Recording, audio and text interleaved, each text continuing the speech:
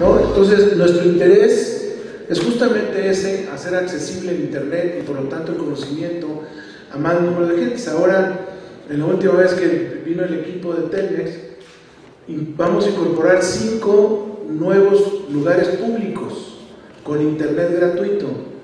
Entre ellos, el Parque Tangamanga 2, la Alameda Juan Sarabia, y ahorita Rodrigo va a decir nosotros tres, Plaza de Armas, Barrio de Santiago y San Juan de Dios. Eso se agregan a los que ya existían. Estos son cinco nuevos lugares públicos en donde vamos a tener acceso a Internet para, para los jóvenes, para todo el mundo, que, este será uno de los temas. Pero además, esto va a un lado con el papel social. Ustedes saben que Telmex tiene una fundación Telmex que apoya temas educativos, que apoya estudiantes,